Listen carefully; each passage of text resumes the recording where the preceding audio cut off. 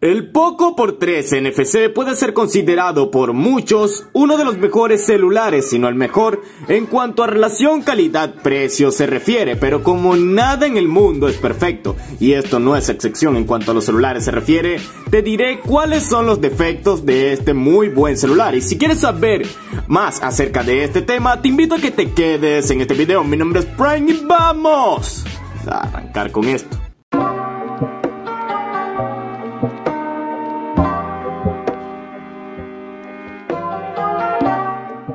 Y si entraste a este video seguro es porque tienes en mente comprar o ya tienes el Poco X3 NFC y quieres saber cuáles son sus defectos, ya que si quieres escuchar las virtudes de este celular, te invito a que pases por cualquier video de nuestro top.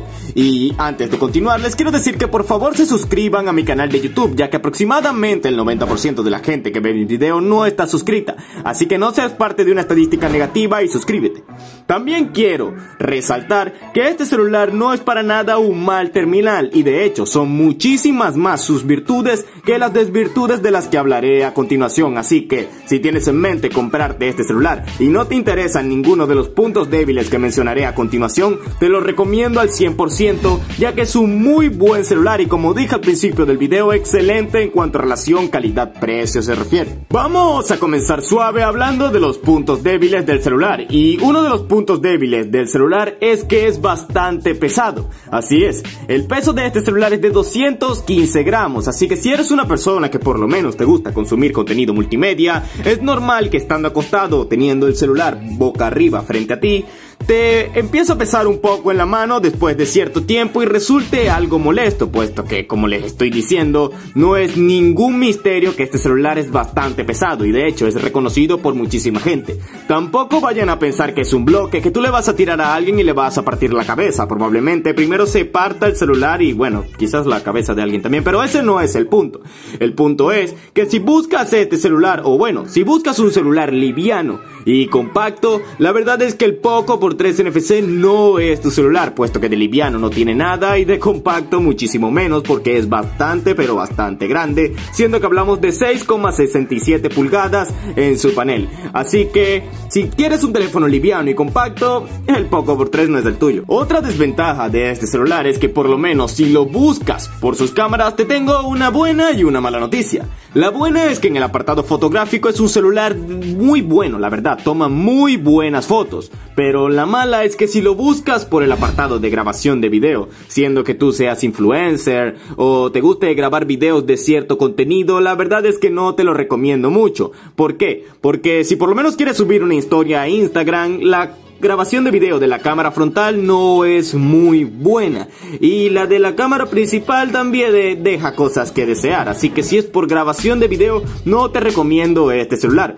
Si es para tomarte fotografías, ya sea selfies o con la cámara trasera y el sensor principal, sí te lo recomiendo, puesto que este celular cuenta con un sensor principal de 64 megapíxeles y este es capaz de captar unas escenas bastante bonitas. Y de igual manera pasa con el sensor de selfies de 20 megapíxeles. Pero ya para grabación de video, por lo menos en mi caso que soy youtuber, no es recomendable este celular. El tercer punto débil de este celular, y la verdad es algo de lo que quiero enfocarme, es su capa de personalización. Ya que, para mi persona, MIUI es una desventaja. ¿Y por qué dices esto, Prime? La capa de personalización de Xiaomi está repleta de bugs a toda costa y esto es algo que la gente no menciona, ya que muchísimos recomendamos los celulares de Xiaomi, entre ellos yo, pero nadie les avisa a la gente que puede ser que con la capa de personalización te encuentres muchos bugs, como puede ser que no detectes ninguno. Por lo menos en mi caso, hace poco estaba probando nuevamente el Redmi Note 9S del que les hablé del review y me di cuenta que cuando actualicé a MIUI 12,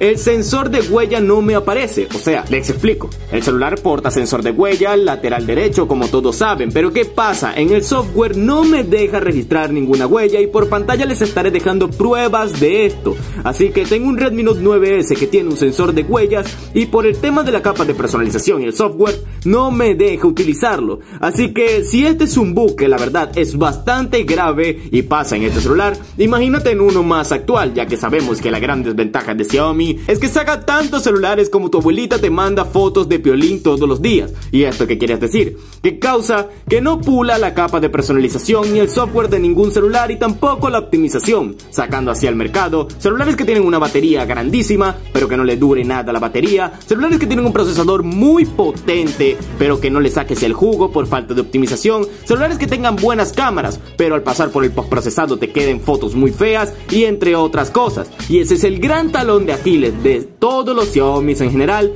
y este Poco por 3 no iba a ser la excepción. El último tema del que quiero resaltar es el de la tasa de refresco, ya que, ok, en este celular contamos con 120 Hz de tasa de refresco, siendo una ventaja bastante grande, pero ojo, no se confundan aquí, porque es una ventaja bastante grande si en cuanto a scroll nos referimos ya que la mayoría, por no decir casi todos los juegos que hay actualmente en los dispositivos móviles, no están optimizados para tan altas tasas de refrescos. Es decir, si el celular puede correr el juego a 120 FPS para mostrarte 120 imágenes por segundo, porque tiene una pantalla de 120 Hz, el juego te limita los FPS a 60 siendo que no importa en cuántos hercios tenga la pantalla ni cuántos FPS pueda sacar tu celular de ese juego. El propio videojuego va a venir limitado a 60 FPS y esto no te va a permitir tener una experiencia muy fluida en cuanto a videojuego como muchísimas personas creen.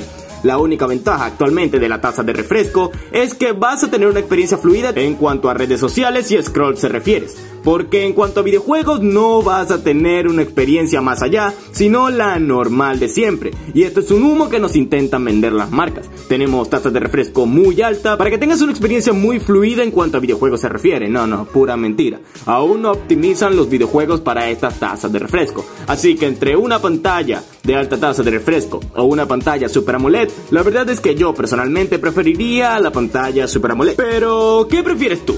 Cuéntame si te gusta este dispositivo y si no te importan los defectos que tiene, aún así te parece una maravilla, o si lo quieres comprar aún después de todo lo que te dije.